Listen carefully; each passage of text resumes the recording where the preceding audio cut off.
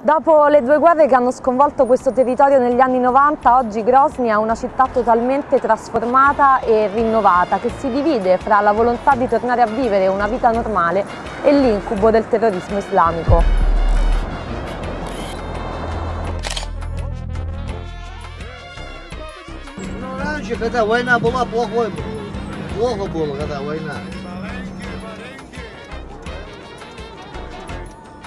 Di nuovo. война была, плохой, плохо было, когда война. кино, на работу или в школу. Война, ну, так, нормально, хорошо живем, все. Спокойно.